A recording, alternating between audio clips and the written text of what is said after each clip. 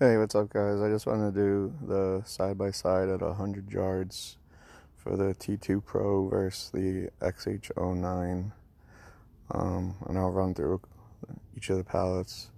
It's about 100 yards down to that cul-de-sac down there. It's uh, it's pretty dark out here. Um, just one or two street lamps on, a lot of house lights on.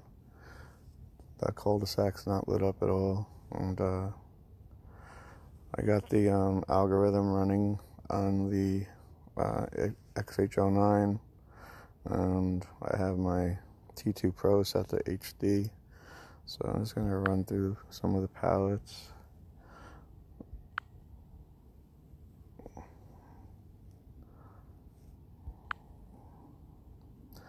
that would be the um, bird watching mode this is the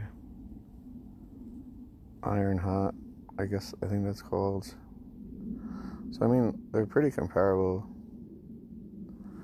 at 100 yards. This is Rainbow. The XH09 is definitely brighter. Um,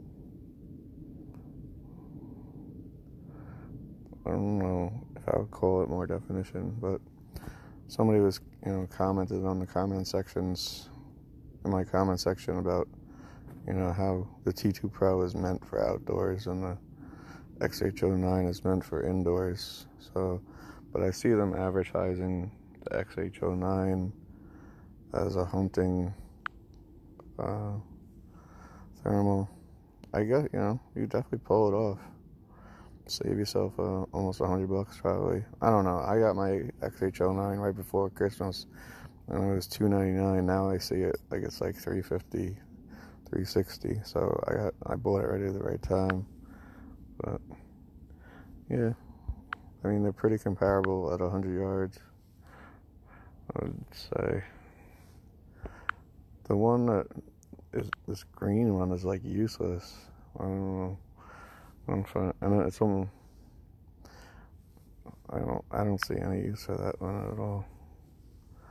But yeah, just wanted to post this because I said I was going to do a hundred yard uh, video. This is my favorite. You know, white hot. I think that this is where the XH09 shines a little bit because. Uh, like you can't really make out the trees in this one. I'm not I'm not